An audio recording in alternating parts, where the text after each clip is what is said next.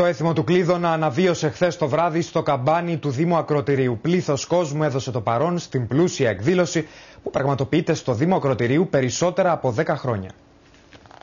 Να πηδήξω τη φωτιά, μη με πιάσει αρρωστιά.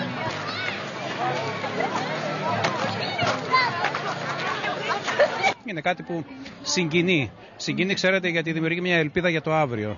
Πηδάω τη φωτιά γιατί θα με κάνει άτρωτο για ένα χρόνο, μέχρι να ξαναπηδήξω την άλλη χρονιά.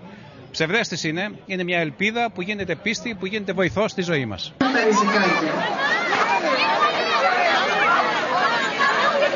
Το έθιμο του Κλείδωνα αναβίωσε στον άβλιο χώρο του παλιού δημοτικού σχολείου στο καμπάνι του Δημοκροτηρίου. Μικροί και μεγάλοι πήδηξαν πάνω από τη φωτιά όπως επιτάσσει το έθιμο, όπου καίγονται τα πρωτομαγιάτικα στεφάνια. Πες είναι καλά τη γυφιά να γιάνω και να με παγουριάνει λιγάκι, να βγάλω τις γιατί από τα βόλτα τσιπώνεις.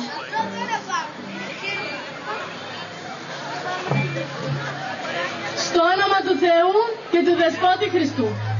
Τρεις το Θεό, τρεις το Δεσπότη Χριστό. Τρεις την Παναγία, τρεις τον ήλιος. Τρεις το φεγγάρι, τρεις τα άστρα του ουρανού. Στην εκδήλωση που διοργάνωσαν ο Πολιτιστικός Σύλλογος Καμπανίου και ο Πολιτιστικός Σύλλογος Χορδακίου Ισκλόκα συμμετείχε πλήθος κόσμου.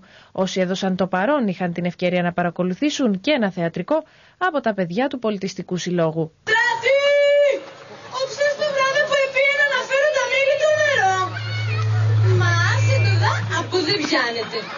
Γιατί ονόματα μαθός φωνάζουνε σαν να βγάλουν έτσι και βάλουν στο στόμα τους από το νερό. Προσπαθούμε να αναβιώσουμε ένα παλιό έθιμο με την ελπίδα ότι θα δημιουργήσουμε ένα ανάχωμα, ας το πω έτσι, σε αυτή την πολιτισμική λέλαπα που αρχίσει να μας κατακλείζει. Έχει αρχίσει και καθιερώνεται στα θεσμό.